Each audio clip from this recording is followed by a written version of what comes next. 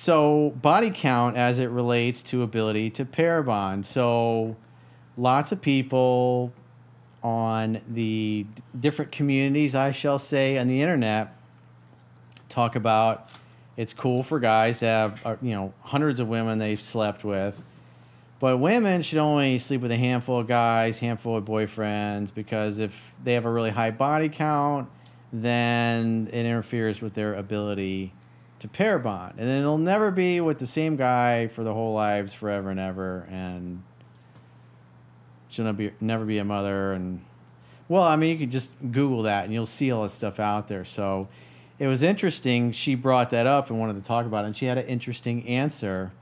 And she got a little fired up and let it rip. And that's one of the things I love about her is that she just speaks her mind. So Well, I feel like today there's a lot of um like people feel like body count is such a big deal.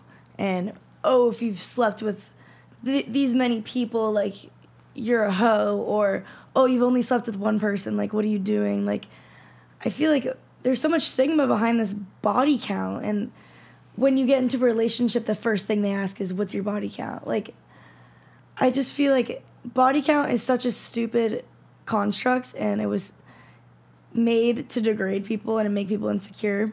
it's part of the patriarchy. exactly. I just feel like it's a number and if you're going to let a number control you or your ability to pair a bond, what's the point? Like I believe that anyone should be able to sleep with any amount of people and be able to uh, like have a bond with anyone and um exploring and experimenting with people is natural and it's how humans interact. And sleeping with 30 people compared to sleeping with 100 people both of them are totally fine. Everyone's just experimenting and i feel like especially with women like you were saying men are allowed to sleep with all these people but women can only sleep with a certain amount of guys. Women can do whatever the fuck they want and men can do whatever the fuck they want. And i think that body count should only come into play when it has to do with your health your well-being your mental well-being. I do not think it should get um, in the way of being able to pair bond. And i don't honestly i don't even think that a significant other should even know about your body count. I feel like that's personal to you and you don't even have to share that information. It shouldn't be a flex and it shouldn't be something you should be insecure about. I think body count should just be something you've done and your past and you should be proud of it and you should learn from your past experiences. And yeah i think that there's a lot of hatred around and insecurities around body count and i feel like everyone should just be okay with their past and their past decisions. I don't think there should be any hatred towards that at all. That's my take on it. I- oh, i've dealt with lots of friends who've been like talked down upon called a hoe because they've slept with people but in reality like people don't know what's actually going on in their lives like I've had friends who have been going through like really bad mental struggles, and the only way they know how to cope with it is just to get validation from men because that's all they know. And like mentally, they don't, they can't logically think about a solution, so they just get with men. And just because their past mistakes weren't good decisions, it shouldn't dictate their ability to pair a bond with a significant other in the future. So I think everyone should just take into account that body count doesn't mean shit. Only if you make it like a big deal. And I think everyone should be able to be proud of their past and their past decisions. Period. That's my little tangent. so, what is a high body count to you, Gracie? Um just from me and my own personal experience with like my friends and my family. For me, like over 10 is like whoa, you've really like gone around, which is awesome. Like, it, I bet for a lot of people it's way higher, but since I'm so young, um, over 10 bodies is like a lot for me. But definitely for other people, I would say like 30, 40 is a lot. I don't know. What about you guys? Uh, 65, uh, 65 and up, like Social Security. Oh yeah. Okay. That number just like I like don't That's even know if I've like you've known your met that shit. many. At 65, you know your shit. Like you, you, you know your shit at that Yeah. point. That's that's you figured it out. That's that's like that's a high. That's a a low one. I mean, you just say fucking like three. Three is a great number. Three, three, three works. Comedy comes in threes. yeah. I'd say like three. You you've tested out three different things. Test You're like the waters. what you like, what you don't like, and what you want.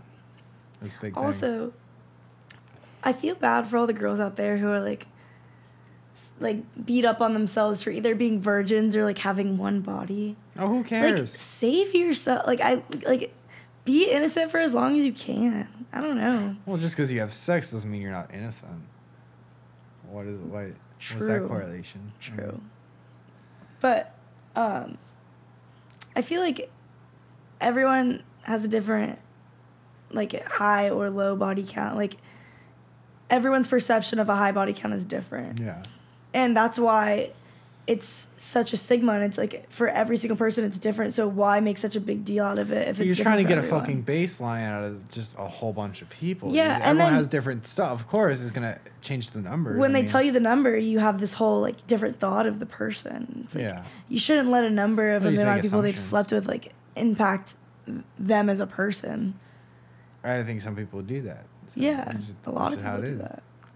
Fuck those people. Who cares? Fuck them if they can't take a joke. Mick Jagger. That's not my problem. That's their problem. Seriously. Oof, I get heated about that. I'm What's just that? like I've seen too many friends get hurt from that stuff. So what's a low body count? There's no such thing. I mean, there is. It Well, wouldn't we just went through the high. So to you, anything above ten is uh, verboten.